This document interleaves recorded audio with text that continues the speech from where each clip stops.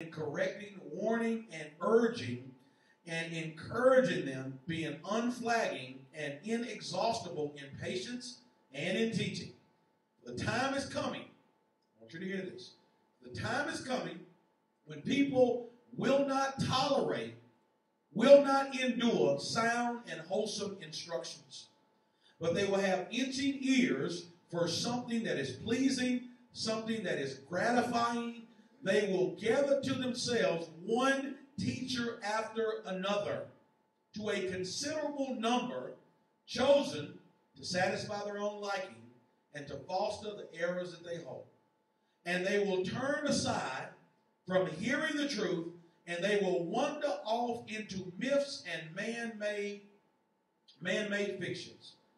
As for you, be calm and cool and be steady, accept, suffer unflinchingly every hardship, and do the work of evangelist, and fully perform all the duties of your ministry.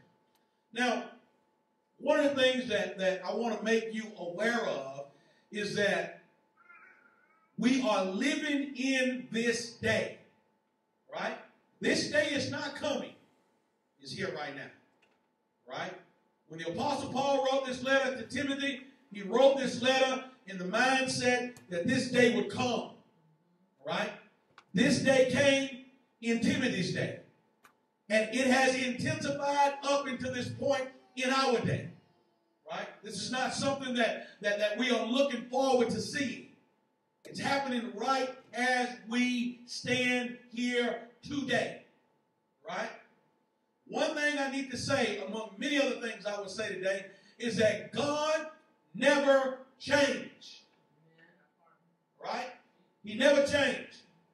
Bible says that God is the same today, yesterday, and forevermore. All right?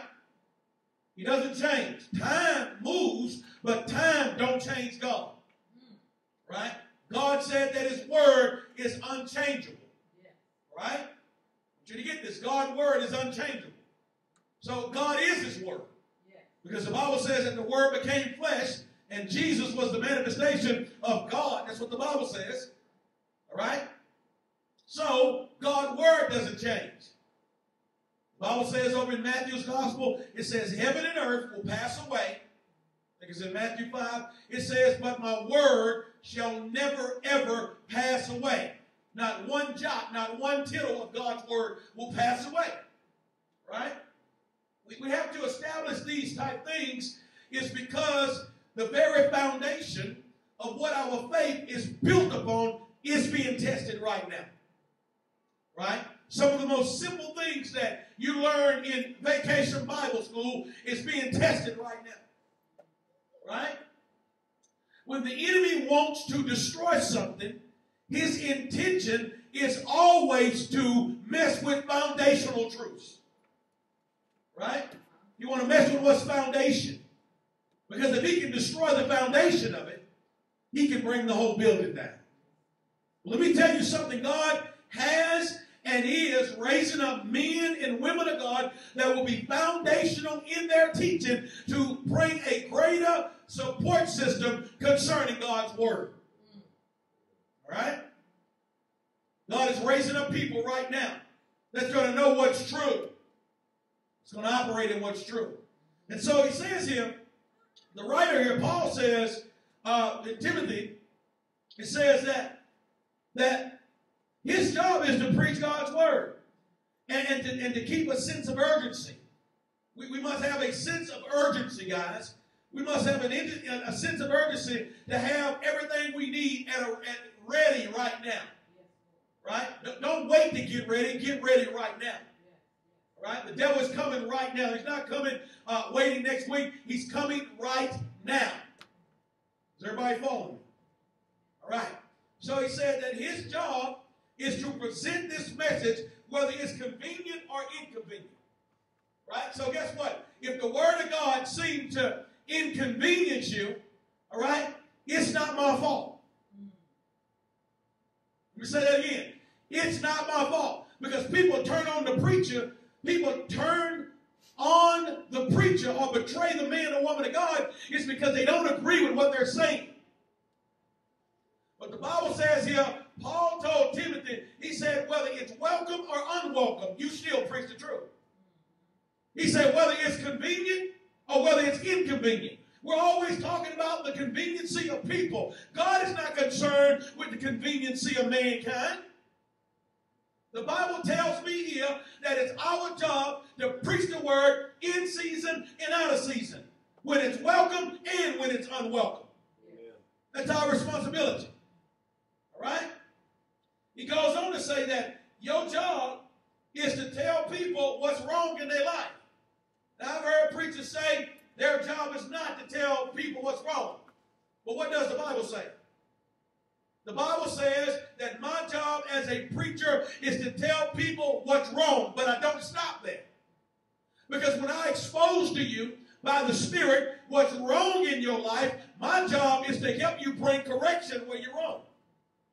Of like somebody in a classroom and you're working on a problem. And all of a sudden you realize, the instructor realizes that your problem is wrong. They're not going to sit there and say you're wrong and not try to help you. Their job is to tell us where we're wrong and give us the right information. I want you guys to hear what God is saying to you today. Right? Many of us, we've been wrong in a lot of areas in our life. We've been told the wrong things in a lot of areas in our life. But we have to be willing to conform to God's way versus being fixed in man's way. Man has its own way. Humanity has its own way. But God has his way. Right? And we want to follow God. And just because we read something in the Bible a certain way doesn't mean just because they preached it that way that it was legitimate. You can take things and you can put your spin on it. You can take the Word of God and you can kind of make it say what you wanted to say.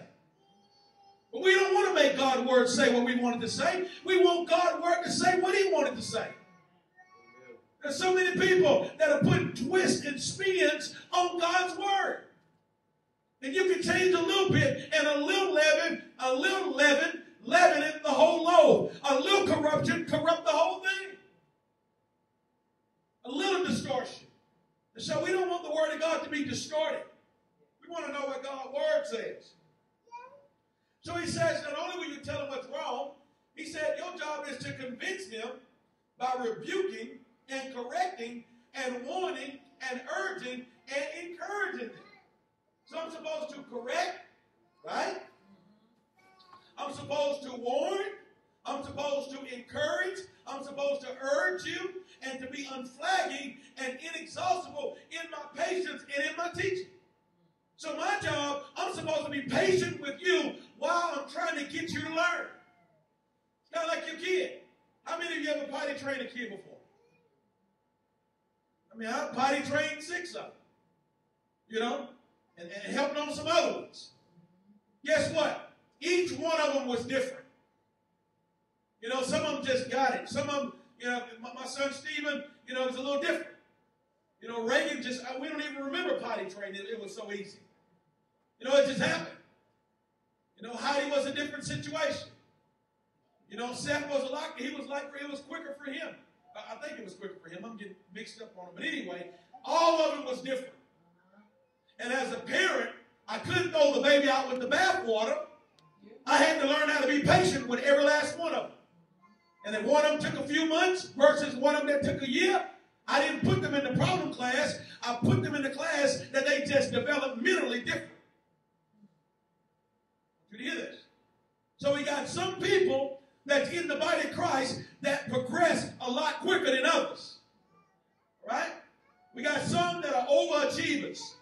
They come in, they get it, and they run with it. But we got some that kind of hang in the back, you know. I'm not saying that for the season, sir. You got some just kind of, they just hang. You know, they just kind of float. You know, you, you, you try to get a hold of them and help them, you know, but, but it's a little more challenging with them. And you want that one to, just like your kids, you want that one to act like the rest of them. But you're going to ask God for a little more patience so you can help that one to get where the other one is. Is it being made clear here today? All right. So, he said, be patient and teach. One of the things I say all the time, if you are unteachable, you are unusable. All right? If you are unteachable, you are unusable for the kingdom of God. Because every last one of us must maintain a teachable spirit. Right? What it is to have a teachable spirit? Have the ability to be taught. Right? You have the ability to be taught. Don't, don't, don't be like um, my son Stephen. He know everything. I mean, he, he's a genius. He knows everything. And so when you try to teach him how to do something, he want to teach you his way. And then my son Seth, he knows everything. You know? It's like, man, you know nothing because you know everything. And the deal is, we want to be in a place to where we are teachable, to where we have the ability to learn. All right? You know, don't cut everybody off all the time. Let people talk to you and tell you what's wrong. Let people explain to you what's really going on. Let's be still and say, Lord, teach me. All right? Teach me, Lord. You know, I need to be reprogrammed. I want you to hear this. I need to be reprogrammed. All right? I want you to hear this, guys. All right? It says here, it goes on to say here in verse 3, it says, For the time is coming when people will not tolerate endure sound doctrine and wholesome instruction. Everybody don't like the truth. Everybody don't. Why you think churches are not filled up in places where the word is being taught like this? Because guess what? Everybody don't want to hear the truth. People don't want to hear their problems. People don't want they want they want it they want it to be like a, like a lie. You know, I want I want just motivate. You know, just give me a good motivational speech and that would be great. But guess what? In the kingdom, it's not just about being motivated. All right? It's about being transformed. It's about being changed. And guess what? In the midst of being changed, you're going to hear some stuff that you don't want to hear. You think I want to hear the doctor say, hey, you need to lose some weight? Because guess what? It's going to take work to lose weight. It's going to take some adjustments to lose weight. I think it's getting a little frigid in here. I see people putting their coats on and I feel the breeze. Just, just, just cut it off. Amen. Just cut it. Everybody getting cold. I'm getting cold. Just, I don't know. Just, Lord, help us all. Amen. Because we go hot, cold, hot, cold, we'll leave here sick. The weather is like Southern California's got something going on. You know, cold in the morning, 2 o'clock at 2 o'clock. 80 degrees at 2 o'clock. All right, so, so the deal is we have to be in a place where we allow God to change us. Right? We can't be in a place to where we reject good stuff because it don't feel good. It's like rejecting cod liver oil growing up, you know. Nobody want to take cod liver oil. Nobody want to take all this uh, this stuff that doesn't taste. It's not taste well. You know, it's like, ah, you run, you hide, you, you do everything. Let me tell you something. Everything in the kingdom initially don't taste good. Everything that's coming your way, the adjustments that, that, that God is trying to make in us is not always good. I know the Bible says that God's word is sweet like the honey from a honeycomb, you know, but guess what? When you first bite off of it, you don't get a taste like that. Because guess what? You don't want to make those adjustments. You, you like sugar. You love salt. These are things you've learned to love. And so guess what? When you take a little salt away, the food don't taste the same. When you take the sugar out, you can put stevia, truvia, whatever, trula, you can put whatever. It doesn't taste the same. You can split it until Jesus come back. It doesn't taste the same. And all of a sudden you find yourself backsliding. Because all you want is the real thing. So the deal is here in the kingdom, we have to make some changes. We have to trim down what's been holding us back. Want you to hear this, guys. I want you to get it. Anybody getting it today? Anybody getting it? So it says that they will they'll be in a place to where they're not tolerating the word anymore. They can't tolerate it. So guess what? The first thing they say, I don't want to hear that. Well, I'm not going to church thing anymore. It's because I don't like what the pastor's preaching. Well, they saying the same thing in heaven, so you've got a problem with going to heaven too. I mean, because what I'm speaking is what heaven said. What they're speaking is what God said. So if you got a problem with what's coming out of my mouth, you have a problem with God, not with me. Because guess what? When you go home, your Bible go with you. And so the word that I spoke, you can read it in your bedroom. You can read it in your car. So it's not just the preacher. You have a God problem. Right? You have a God problem. It's not a preacher problem. So we run from God, think we're running from the preacher, but we're running from God. Hallelujah. So, so he says here, he said that they're not going to tolerate, they're not going to have the, the capacity to endure sound and wholesome instruction. But, but they're going to have itching ears for something pleasing and gratifying. How many of us here love stuff that, that, that's pleasing and gratifying? Come on, you're not going to be in sin if you tell the truth. We all do. Come on. We love people to say stuff that is just going to be nice and, you know, you're not really fat. You know, you're just big boned. You know, you but you're a good looking big boned person. We'll just mask it over. I mean, you obese. I'm obese. I mean, my God, I'm not playing football anymore. I need to drop this weight. I mean, we're just gonna tell the truth. I'm not, I'm not trying to tackle the quarterback anymore. I'm trying to be a dad. I don't want anybody to be pushing me around in the next 20 years. I mean, come on, let's confront these are real hard issues. Well, baby, you're not too big. You know, you, you know you was pregnant like five years ago. Still got baby fat, you know. Come on. I mean, you don't want to be like harsh, you know, but at the same time, I'm talking about reality.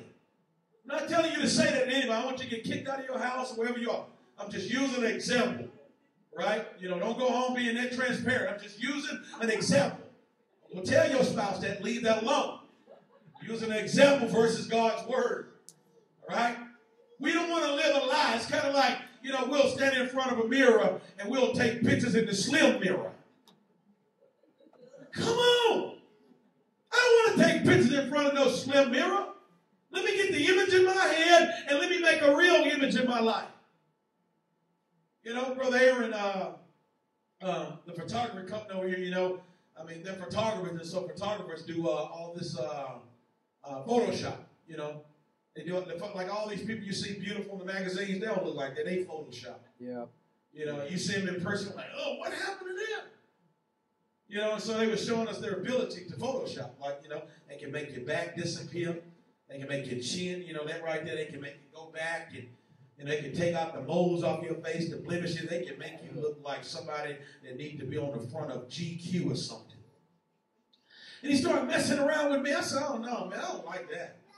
You know, Pastor Sean was like, oh, that's amazing. I like that. I was like, no, I don't like that. I don't want to look at no pictures in my house and it ain't the real me. I mean, I was like, if I'm fat, I'm just fat. Let me look fat on the picture. You know, so I can hate that picture. That's the type of spirit we want. I don't want to live a lie. Amen. You know, I'm like, man, he looks so good. And they see me, I'm fat as I want to be, you know. I mean, I'm just all messed up. And I mean, I know I'm being a little bit graphic, but I'm telling the truth, guys. We, we don't want to live with a vision of something that's not real. Amen. Right? We want to be real. And so everything in this world is, is, is fixed up fictitiously. We want to be real. Amen. Hallelujah. Amen. So, says they're not, they're not going to be able to endure sound doctrine, and they're going to look, they're going to uh, look for uh, something that's going to cause their ears to be to be itchy. I mean, they're going to have itchy ears, and they're going to look for something that's pleasing and gratifying. It says they will gather to themselves one teacher after another to considerable number, chosen to satisfy their own liking and to foster their error. You know what, guys? I don't want to hang with people that's going to foster my error. I, I mean, I'm telling you, I want, I want people to be real with me. Right? I want people to be real with me. I want you to say this. Come on. If you don't, if this is not your confession, I just want you to start conforming today. I want you to say, I want people to be real with me.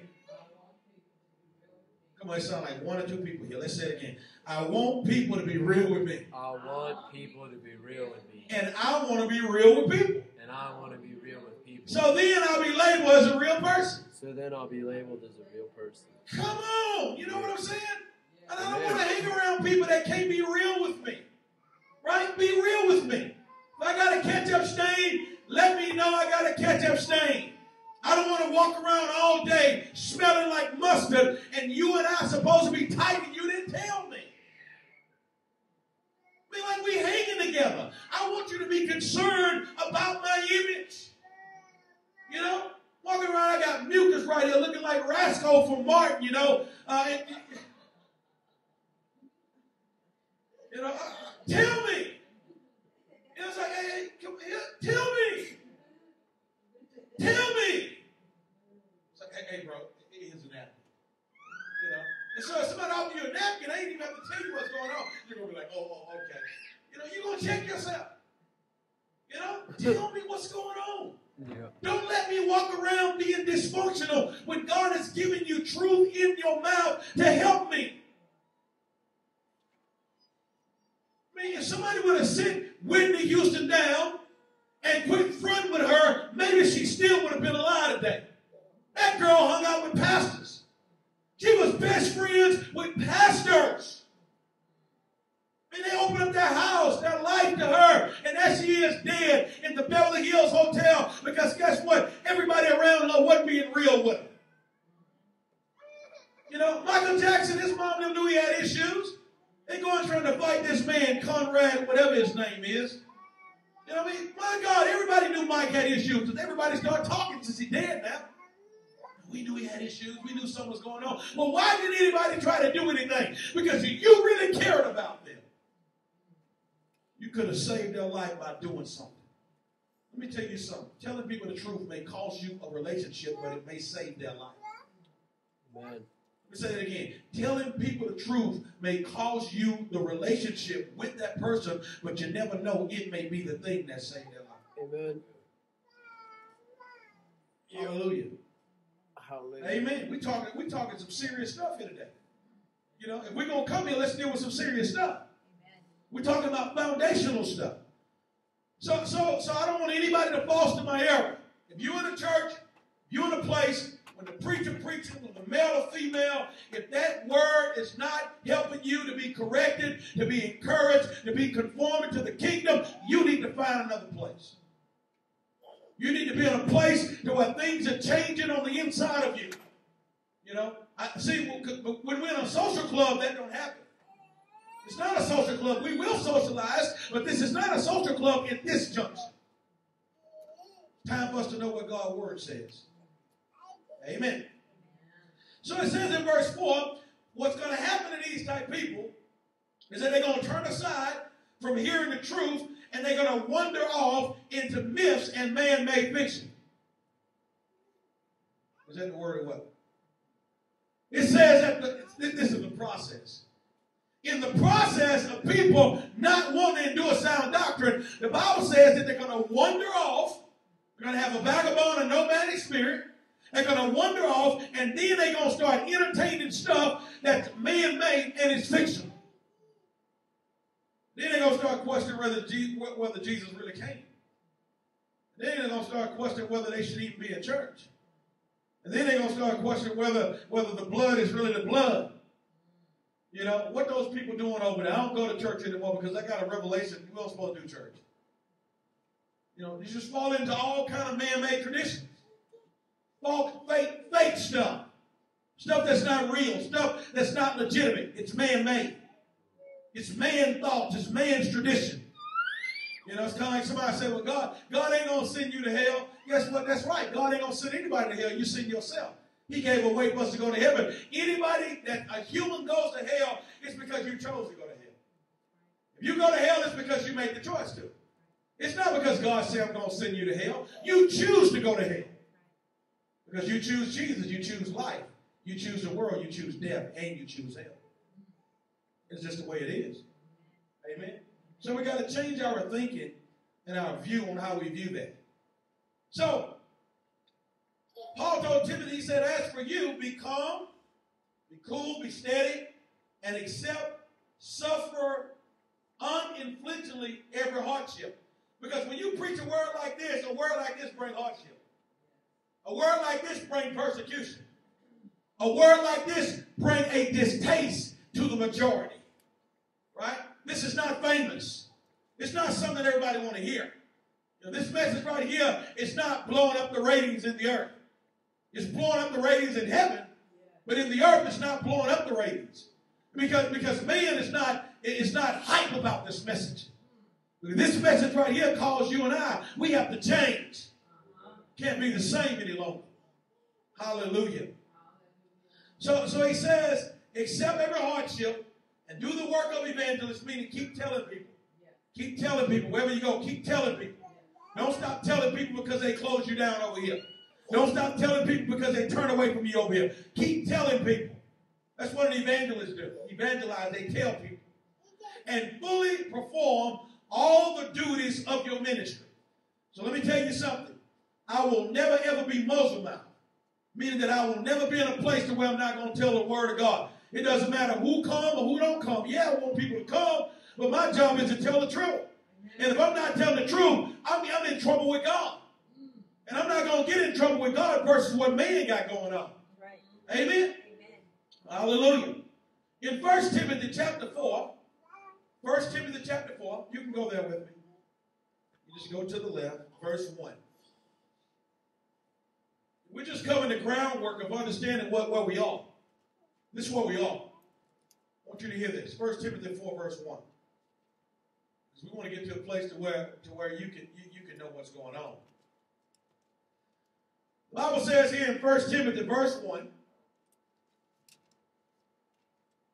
it says in the King James Version, it said, Now the Spirit speaketh expressively that in the latter times some shall depart from the faith, giving heed to seducing spirits and doctrines of devils. That's the King James Version. Anybody else got another type version out there? Anybody? NIV? New American Translation? I got another version here, but I want to see what you got. Anybody? Everybody KJV here? Oh, that's fine. What do you got? You got what you got?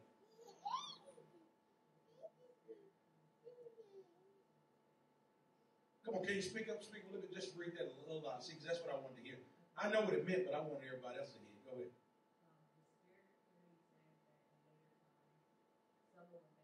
That's the word I'm looking for. Abandon. Keep going. I love that. Taught by demons. That's what I was looking for right there. Taught by demons. All right, I want to read it to you in Amplified.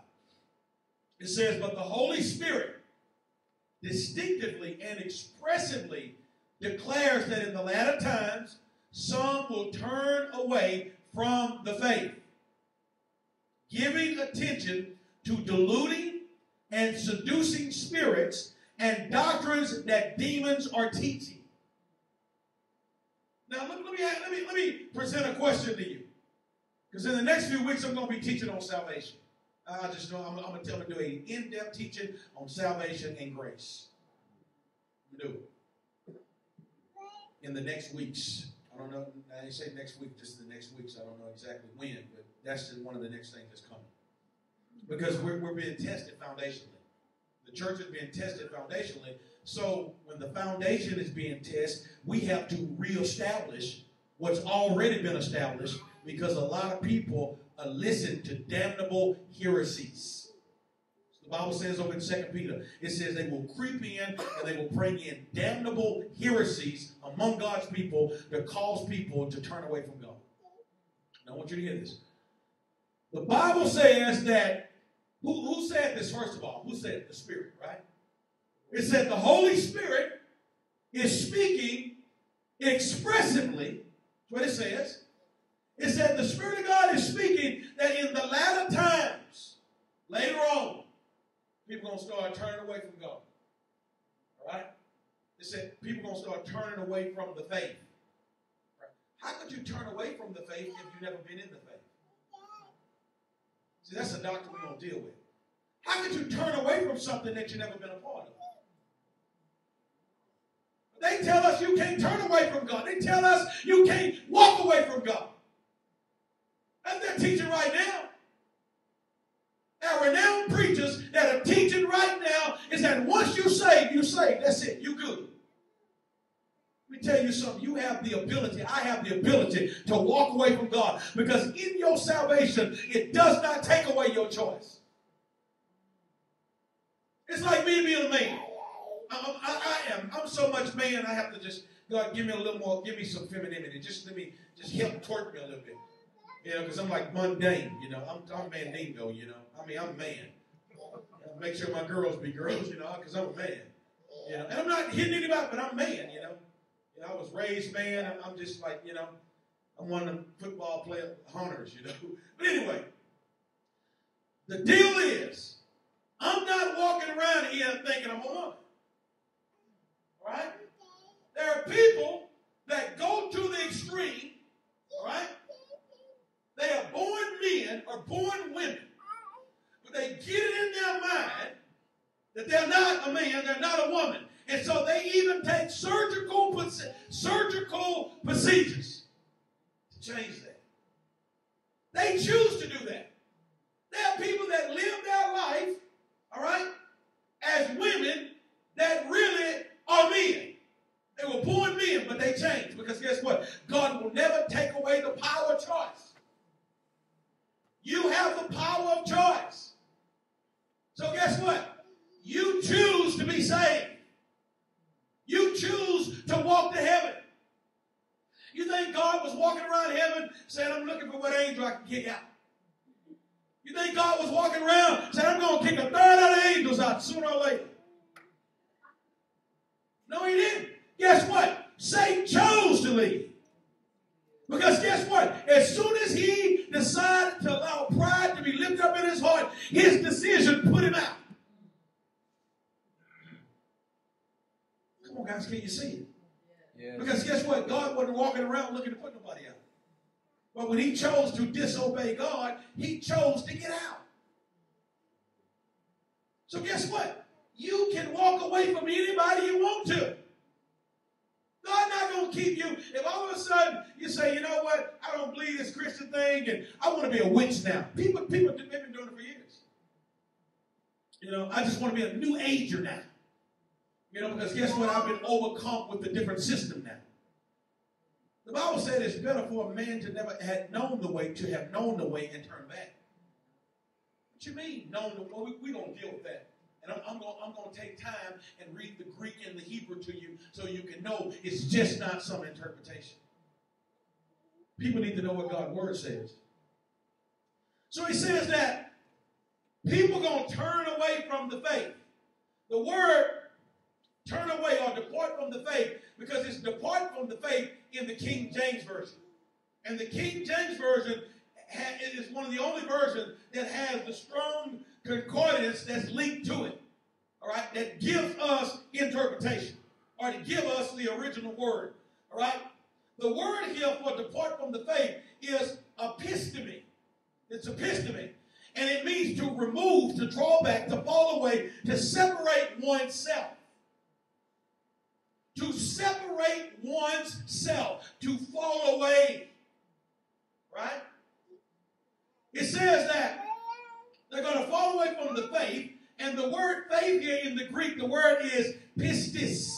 P-I-S-T-I-S. And it means their moral conviction, especially the reliance upon Jesus Christ for their salvation.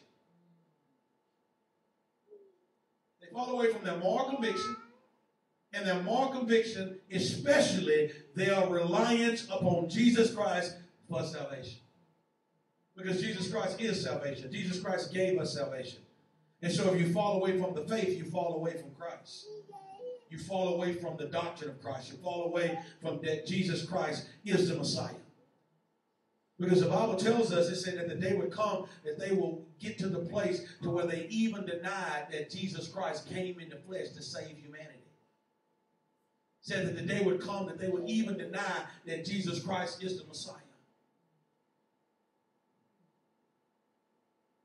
the Bible says. So it says they turn away from the faith, and the way they turn away, they gave attention to what? Seducing spirits, deluding teachings, seducing spirits, and doctrines that demons teach. So guess what? The way we are led away is how? We're seduced, but seduction is a process. You don't walk in and somebody seduce all of a sudden. Seduction is a process. you know, you seduce you you seduced over time. You know, And so, so when a person is seduced, you are mentally undressed, and your guards are let down, and you begin to allow in what never should have been allowed. Right? We dealt with some of this on Wednesday, on Thursday night, talking about guarding your mind. Because we let we entertain certain thought patterns that we should never entertain. Right? I want you to hear this. I want you, I want you to hear this. The Bible says that this doctrine is taught by demons. Right? How am I going to be taught by a demon? If you know I'm a demon, chances are you're not going to listen. But if I'm a man possessed with a devil, and I'm teaching you something that is demonically influenced, you are being seduced and taught doctrines that demons have promoted. Like Jesus is not Messiah. Is that, that, that you can do whatever you want to, that grace gonna cover you. That contradicts God's word. You can't live any kind of way. You have to be obedient. That's the standard of living that God has given us. You know, God is merciful. He ain't gonna send you to hell. You, you're right, but you'll send yourself to hell. Jesus said, if you love me, you won't just go around doing anything. So how are we going to contradict the, the, word of God? If you love Christ, you're going to live right. And in the midst of your living right, you may you're going to have some days when things are not all the way they should be, but there's grace for that. You have some days when, when you commit sin, because we all sin. Every day of your life you sin, but you don't live a lifestyle of sin. You don't have a common practice of sin. You know, sometimes we say things that's offensive to God, it's sin. Sometimes we think think some things that we act out, that's sin, and we shouldn't do it. And so we go to God according to Romans, according to uh, 1 John chapter 1. It says that we confess our sin, He's faithful and just to forgive us and to cleanse of all righteousness, right? Okay, so why, why are we confessing sin? If it's okay, why, why even? I heard a preacher say, you ain't even got to confess your sin no more. Why the Bible tell me to confess my sin then? I mean, these are damnable heresies. We tell the people you ain't got to confess sin no more. Because guess what? It doesn't matter what you've done, you can't mess it up. Let me tell you something, there's a line somewhere. I don't know what the line is, and I don't even want to know. I want to stay so close to God. And I want the grace of God to continue to cover me like it's going to cover you. Because we, we, we reverence God. Why does the Bible say, live out your days in fear and trembling? Why, why, why did it say, just go do what you want to do? Since you've accepted me, just live the way you want to live. You know, just get drunk as you want to get drunk. And then over in John, it gives that whole list of saying drunkards, whoremongers, liars, blah, blah, blah, shall all, they shall all not inherit the kingdom of heaven. But you go do what you want to do. And the Bible says you're not going to inherit the kingdom of heaven if you in this list. See, the deal, this is the deal, guys. This is the deal. When we love God, we stay clear of that type of foolishness. And when it arises, we start putting it away because it's offensive to God. And the Spirit of God that's on the inside of you confirms with your spirit that it's not of God. And you say, no, I'm not going to do that. You know, every last one of us have the ability to do what's wrong. Every last one of us. It doesn't matter how saved you are. But if the Spirit of God lives on the inside of you and I, the Spirit of God is going to encourage you, empower you, and lead you and I into what's right. You know, how many of you ever read the 20, 23rd, 23rd Psalms? You ever read the 23rd Psalms? All right? The Bible said, He leadeth me in the paths of righteousness. Come on, come on. Where's He lead you? Lead me in the paths of righteousness for His name's sake. All right, so guess what? I'm being led in the path of righteousness for His name's sake. Okay, if it's okay to be to, to do what's wrong, why is why is the Spirit of God lead me in the path of righteousness? If it's okay. It's not okay. It's not okay. Does anybody follow me in this place today? Let's go to uh, 2 Timothy chapter 2, verse 15.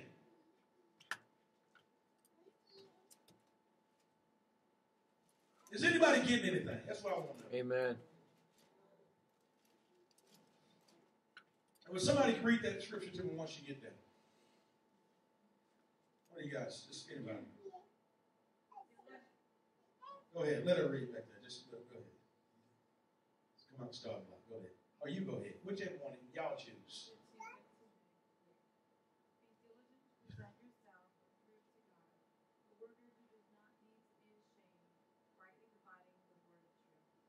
So, if the Bible tells, if the Bible say, be, be in a position, Timothy, Paul told Timothy to rightly divide the word, that means that it is a wrong way.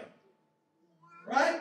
If he tells him to rightly divide the word, there's a wrong way to divide God's word. Right? So everybody that's preaching out the Bible ain't preaching the Bible. And everybody that's interpreting and chopping up scripture, they're not interpreting and chopping it up the way God said. That's the reason you have to read your Bible. Hallelujah. So he said that if, if, if you study to show yourself approved unto God, he said you'll be like a workman that, that has no need to be ashamed. You don't have to walk in shame because guess what? You're rightly dividing the word of truth. The Bible says in 1 Corinthians 15 58, it says, Therefore, my beloved brethren, be firm, be steadfast, be unmovable, always abide in the work of the Lord. Always being superior, excelling, doing more than enough in the service of the Lord. Knowing and being continually aware that your labor is in the Lord. It's not futile. It is never wasted or to no purpose. Now, let me tell you something. This is a powerful scripture for you to get because the devil will tell you and he will fool you that what you're doing for God ain't worth doing. Whatever you do for the Lord, the Bible says that you're not wasting your time. That is purpose. I don't care if you're singing. I don't care if you're dancing. I don't care if you're sewing. I don't care what you're doing. If you're doing it for the glory of God, it's going to be a blessing in your life because God is going to reward you and I for what we've done. So don't ever let the devil get in your ear. He will get in your ear. And he will start saying things that, that's not kosher, things that are not proper. Let's go to Ephesians chapter 4, verse 14. And I'm going to just go ahead and read this out of the Amplified for uh, sake of time. Hallelujah. Ephesians chapter 4, verse 14 through 16. Ephesians 4, verse 14 through 16.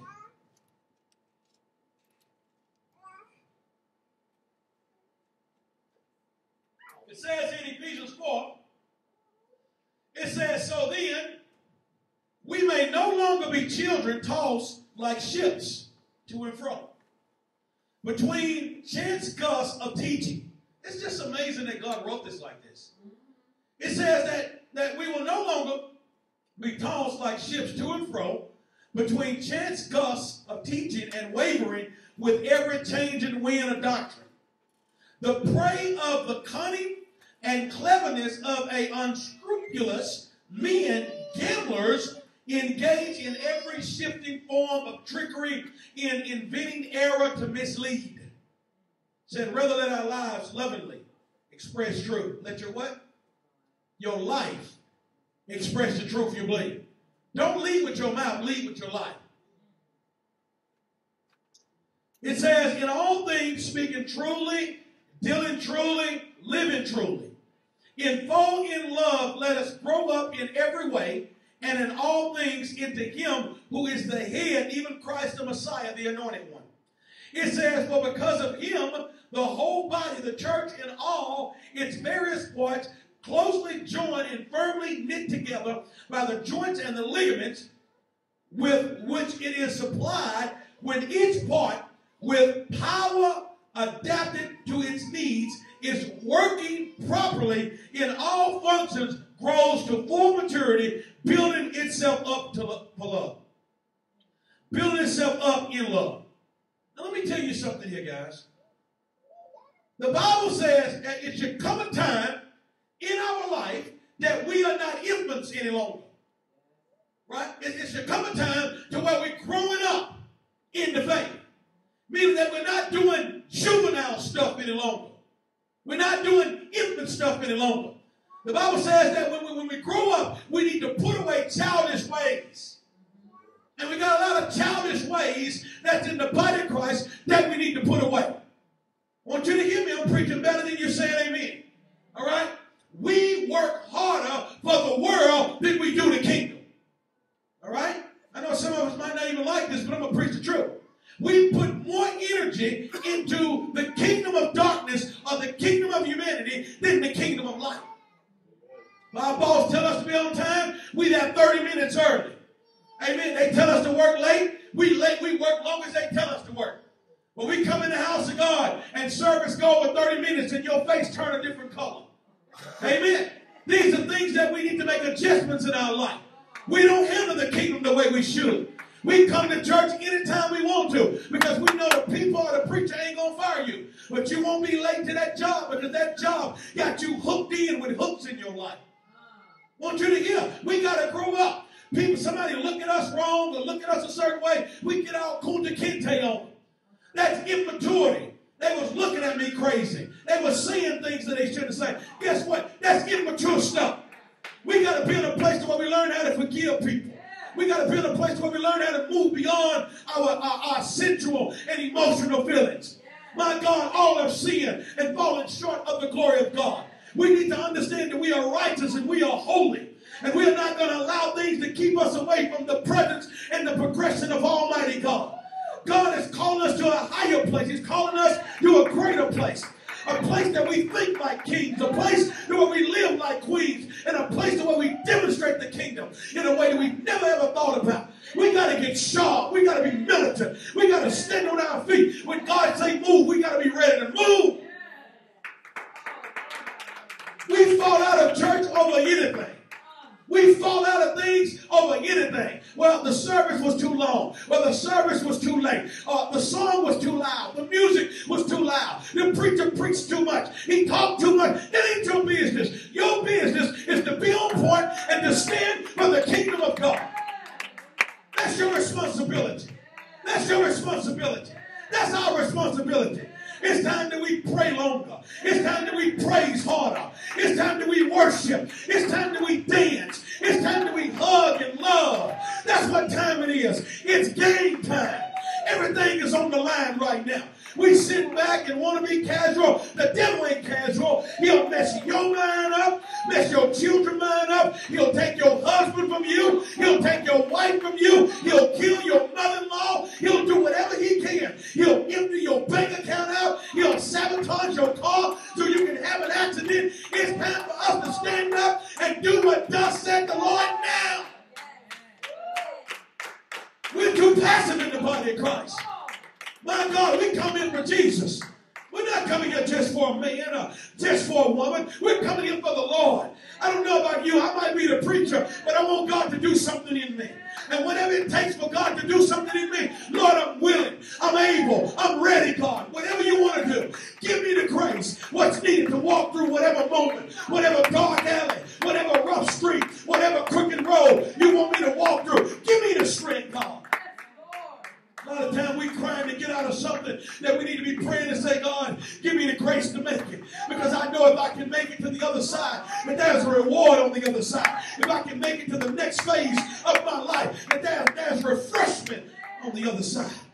Sometimes we kick over and we get in before we get to our place of refreshment. You know, when I think about this, I think about like video games that I play.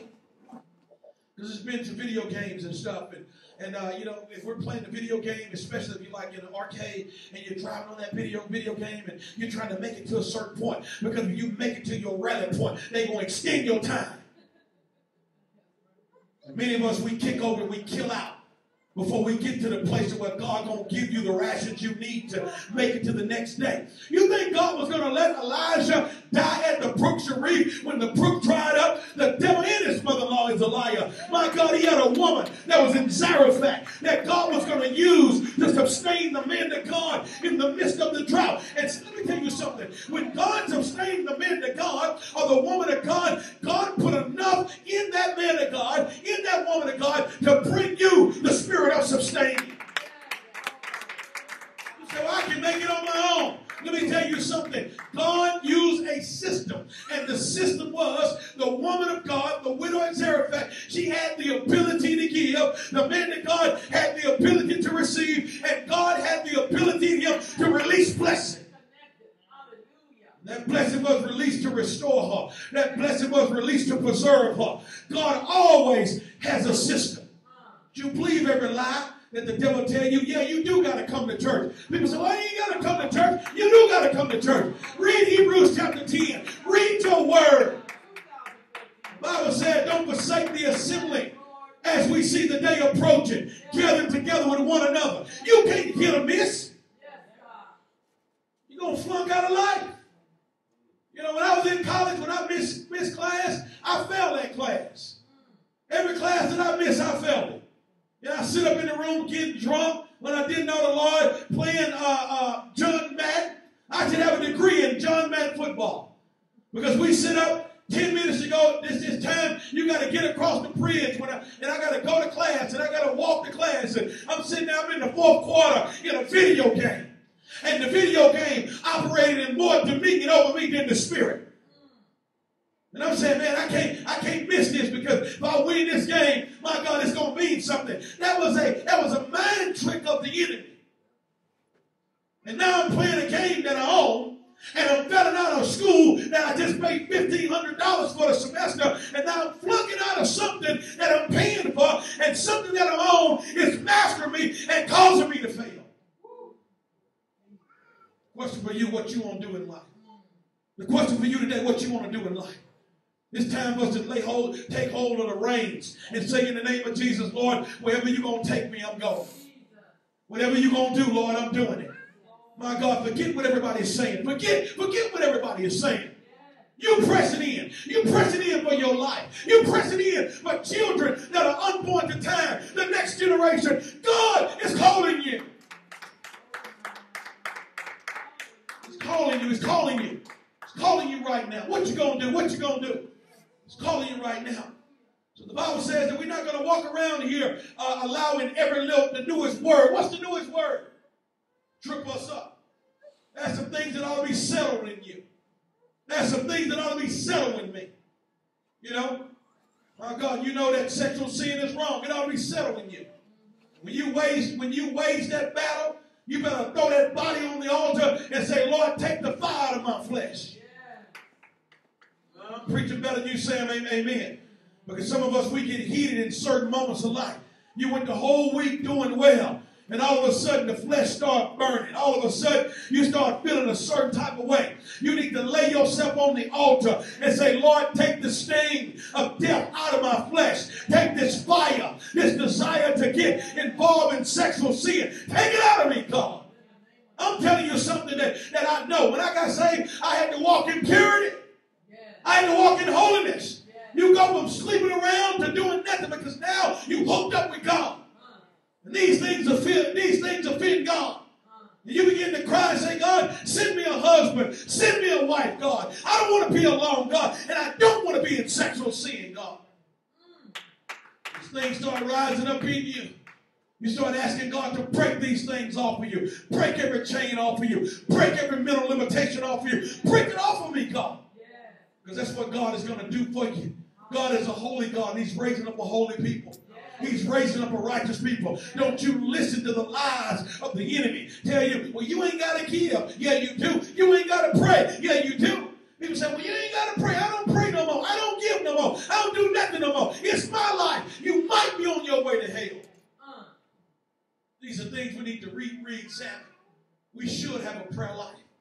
Well, I don't believe in that. Samuel said that it was a sin not to pray. We should have a prayer life. The Bible tells us we're supposed to give. We're supposed to be givers versus being receivers. God didn't say don't receive, but He said it's better to give than to receive. We're supposed to be in covenant with God. We're supposed to pray and ask God to break things off of us. We're supposed to declare the blood of Jesus Christ. We're supposed to speak and confess and declare these things. We're supposed to live in fear and trembling with the Lord. Reverence God. Reverence God. The Bible says we're not going to allow the devil to trip us up any longer. We're going to grow up. We're going to, in 2014, we're growing up. We're growing up. The stuff that mastered you in 2013, you can say, tonight I was that. No. I'm moving forward. I'm not going to make excuses. I can, I can go everywhere else, but I can't go to church. People say, I ain't got no gas to go to church. I ain't got no gas. You got gas to go everywhere else. Well, I ain't got a way. I ain't got a way. you catch a ride everywhere else. You know, we do what we want to do when we want to do it. Amen. We do what we want to do when we want to do it. So let's quit making excuses. Come on, hear what I'm saying here. Let's quit making excuses, guys. Let's quit making excuses. Because we believe, Lord, we believe. Is there a believe in the building? Is there a believe in the building? Is there a believe in the building? We believe, Lord. We believe, Lord. We're going to stop making excuses and start doing. I want you to make that commitment. We're going to start doing. We're going to start doing. We're going to start doing right now. Hallelujah. No more excuses. I'm almost finished. No more excuses. No more excuses. My God, I hear, I hear, I hear keys tuning up in here. No, no more excuses. No more excuses. Can't blame your mama, can't blame your daddy, can't blame your husband you got divorced with, can't blame the wife you divorced, can't blame the children that caused you problems. You can't blame nobody. Everybody got a story. My God, if you was molested, somebody else was molested. My God, if you was raped, somebody else was raped. If you was beat up, somebody else was beat up. My God, we're not trying to be insensitive to what you've been through, but by God, we all got a story. My God, you ain't the only one that grew up without a daddy. My God, you ain't the only one that grew up in an orphanage.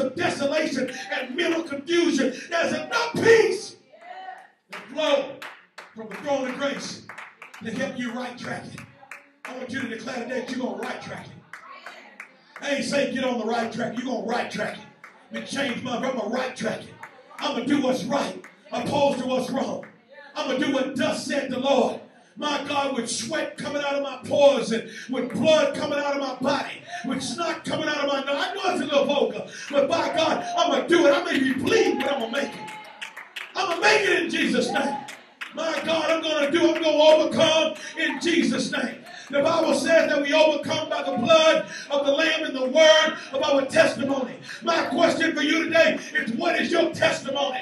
Yeah, you had tests, you're going to have more tests. But by golly, I won't have the bonus. We can put the test and the money together in the overcoming name of Jesus, the blood of Jesus, and we shall conquer in Jesus' name. You ought to get excited about it. We get excited at a Saints game. We get excited at a, at a San Francisco game, 49er game. We get excited at a Charger game when they beat the Broncos the other night. But by golly, we're going to get excited with Jesus. My God, we got Candlestick Park up in here. My God, fireworks are going off in the name of Jesus because we believe God. We're going to preach somebody out of their hellhole. We're going to preach somebody out of their place of mental confusion. We're going to preach you out of your place of desolation and drought and famine. We're going to preach you into a place where the kingdom of God is manifested on the inside of you. Great is He that's in me than He that's in the world. It doesn't matter what the devil throw at you. It doesn't matter what he's throwing at you. The blood of Jesus is greater. The hand of God is upon you. You have been anointed for son, the time is now. You've been appointed for son, the time is now. Every limitation that's on your life must be broken now in the name of Jesus. The glory of God is coming upon you. You have been anointed, Joseph. You have been anointed, David. You have been called out, Samuel. You have been called out, Anna. You've been called out, Simon. This is your hour, Peter. The finest hour that you've ever known. 3,000 is about to be added to the church. 5,000 is coming the baptism of the Holy Ghost is about to be manifest. You can't give up now, Peter. I know it's hard. I know you denied Jesus. But if you can find your way to your